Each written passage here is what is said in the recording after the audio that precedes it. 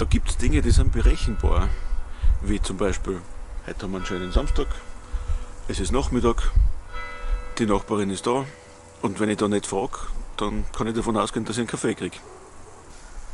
Hat das bitte einen Kaffee? Bitte schön. Mm, Dankeschön.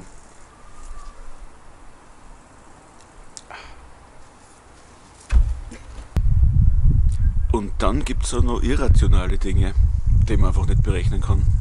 Wer weiß, was da passiert.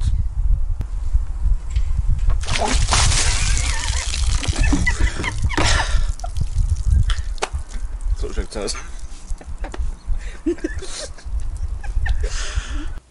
Also damit habe ich nicht rechnen können.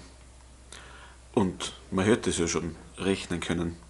Und bei den rationalen und bei den irrationalen Zahlen, da geht es genau um dieses Rechnen, Berechnen. Man kann jede rationale Zahl berechnen. Man kann sie durch einen Bruch darstellen und dann kommen halt so unsere sogenannten Kommazahlen heraus. Ihr wisst es, 1,5, wenn man das durchdividiert, 0,5. Und ein Viertel 0,25. Oder ein Achtel 0,125. Das kann man beliebig lang machen und die Dezimalzahlen werden halt immer länger. Aber dann gibt es noch diese irrationalen Zahlen, die man einfach nicht berechnen kann. Man kann sie nicht durch einen Bruch darstellen. Man kann zwar näherungsweise sagen, wo sie ungefähr sind, aber diese Nachkommastellen, die hören nie auf. Die sind unendlich. Und sie wiederholen sich auch nicht. Also aperiodisch unendlich. Ihr könnt euch erinnern,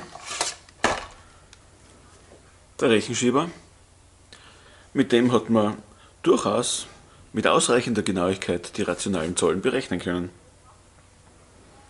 Und man möchte es auch kaum glauben, ja? aber zu einer Zeit, wo die Menschen zum Mond geflogen sind, haben sie die Berechnungen mit Rechenschieber gemacht. Und sehr beliebt waren damals, weil sie so leicht zum Einstecken waren, die Warentaschenrechner. Ja, der funktioniert wirklich.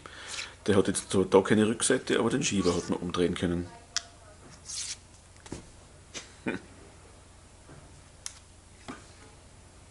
Taschenrechner. Jetzt hätten wir sie alle. Da waren die natürlichen Zahlen von 0 bis unendlich. Dann waren die ganzen Zahlen von minus unendlich bis plus unendlich. Dann waren die rationalen Zahlen, das sind die, die man durch einen Bruch darstellen kann.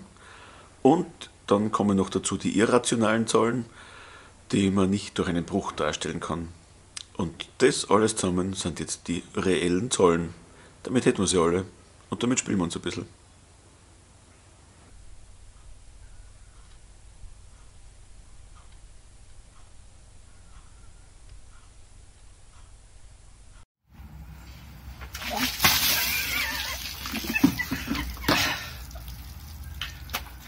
So schaut's aus.